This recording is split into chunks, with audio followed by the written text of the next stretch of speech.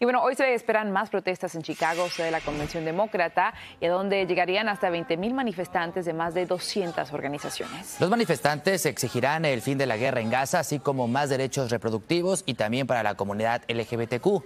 En vivo en la Ciudad de los Vientos, donde hay fuertes medidas de seguridad, y está nuestra corresponsal Lourdes Hurtado dándole seguimiento a esto. Vamos contigo, Lourdes. Buenas tardes.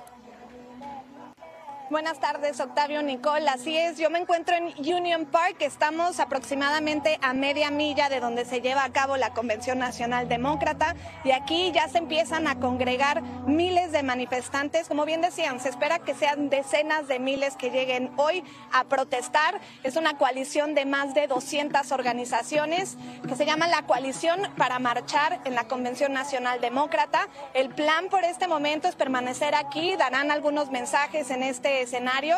Y como mencionaban, la mayor causa que está congregando a estas personas es la defensa de los derechos de los palestinos, exigen un cese al fuego en Gaza y un embargo a las armas que envía Estados Unidos a Israel. Pero también hay otras organizaciones que se unen en solidaridad con los palestinos, pero también que defienden causas como la lucha contra el cambio climático, la lucha antirracista. Y también hemos visto la presencia de grupos que defienden a los inmigrantes que nos dicen que quieren exigirle a Kamala Harris, que de llegar a ser presidenta, que tiene que encabezar los esfuerzos por una reforma migratoria. Escuchemos parte de lo que nos han dicho algunas de las personas que participarán en esta marcha.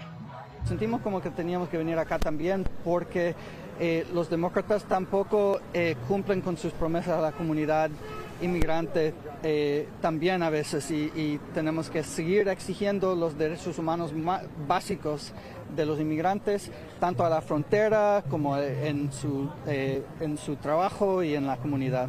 Estoy aquí con la organización socialista Camino a la Libertad, o Freedom Road Socialist Organization, a decirle a los demócratas que no vamos a estar este, en silencio mientras que el genocidio en Palestina siga.